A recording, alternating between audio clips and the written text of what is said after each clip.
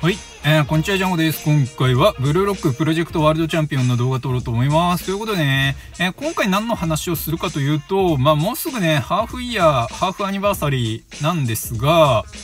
まあ、6月1日にね、おそらく、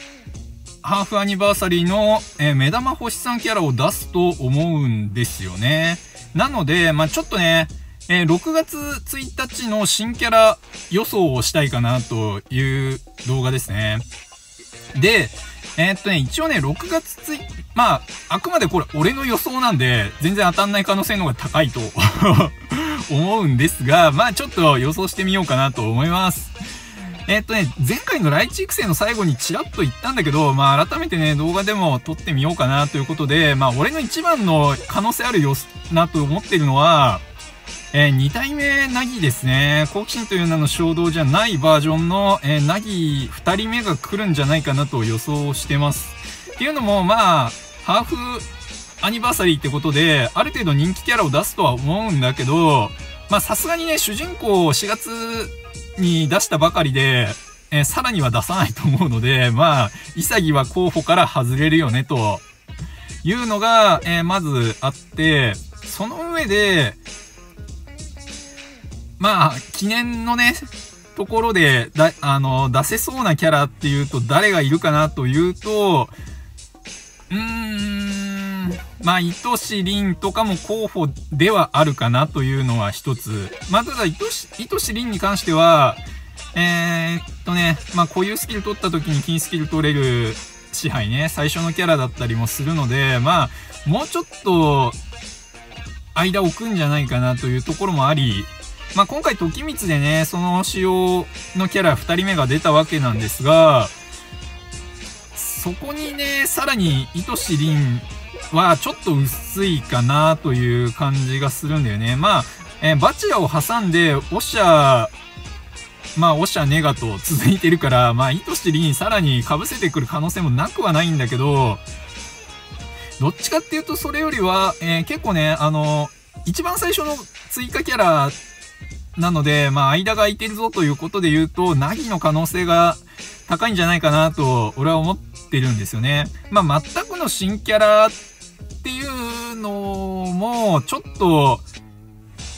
えー、っとね、まあ、進行上は考えにくいのかなっていう、りんちゃんまで出てると、その後って、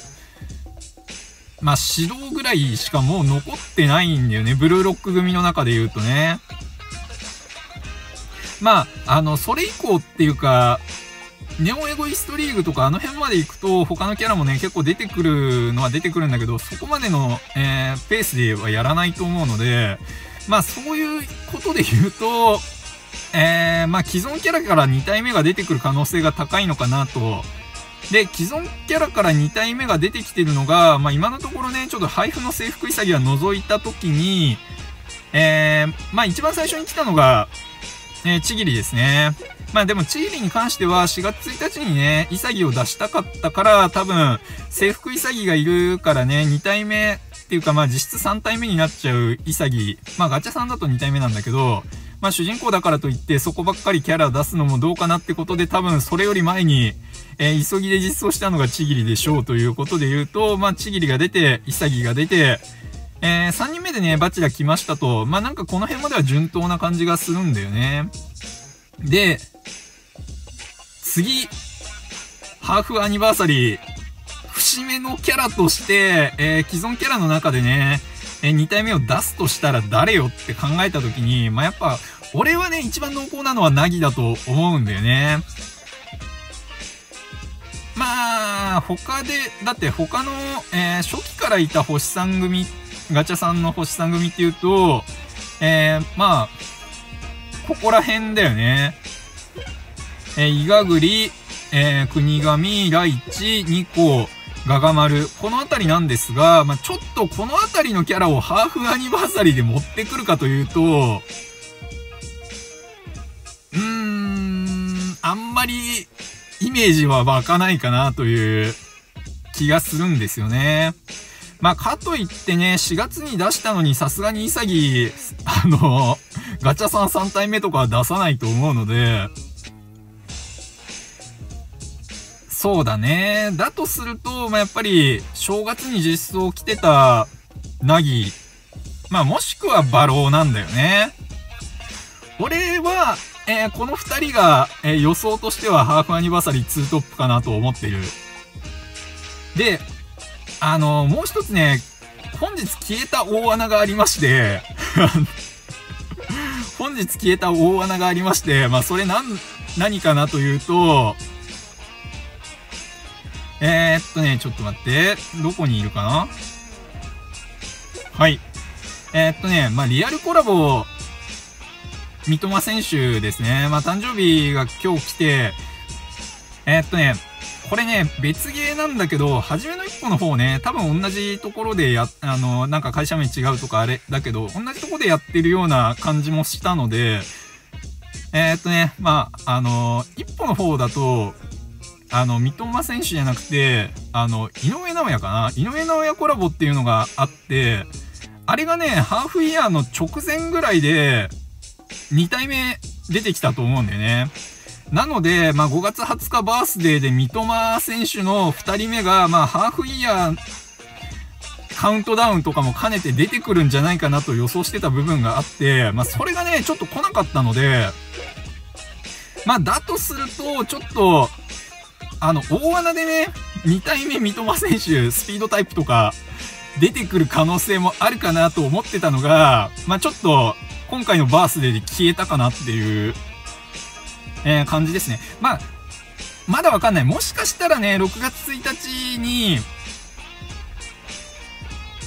うーん、まあ、第一候補、第一予想、なぎ、えー、対抗でバロー、大穴三笘選手、の、えー、バージョン違いが出るんじゃないかなと、俺は、えー、予想してますね。で、今のところ、ガチャさんの2体目って、えー、ストライカー潔ぎ、あのストライカー潔主役の座潔どっちも賢さタイプ、えバチラも、え新しい方も、どっちもテクニック、で、チギリに関してもスピードスピードで来てるんだけど、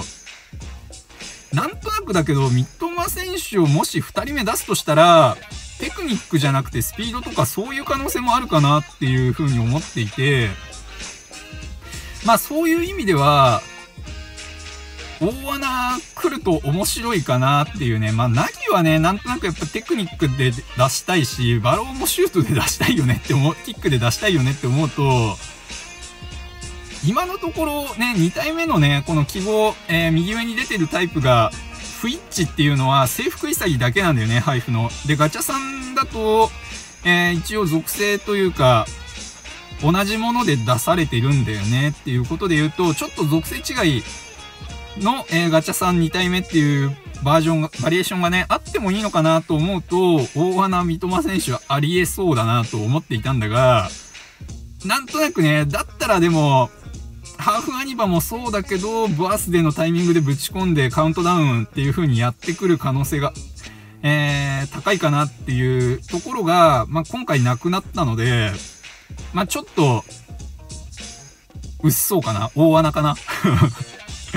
えー、というわけで、まあ、ちょっと俺のハーフアニバーサリーの目玉キャラ予想は、えー、まあ、第一、ナギ、えー、対抗でバローかなと、いった予想になりますね。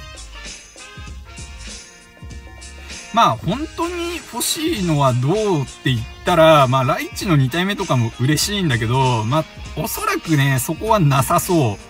う。で、ネガも来てライチ強化しやすくなったから、まあそこでね、妥協点かなという感じですね。で、えー、っとまあ、そこまでで一応予想としては終わりなんだけど、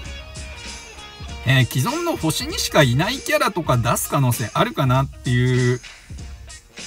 まあタイミングがなくなっちゃうからね。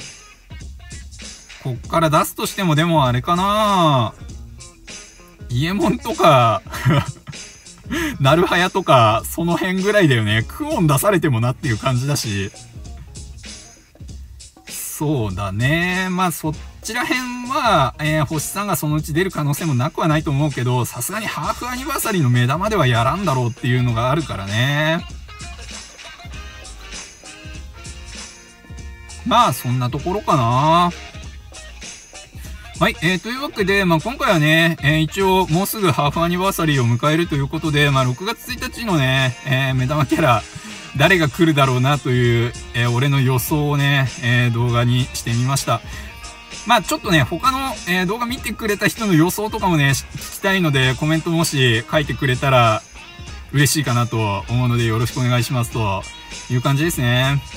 はい、えー、というわけで、まあ今回はこれで終わりにしようと思います。ありがとうございました。よいしょ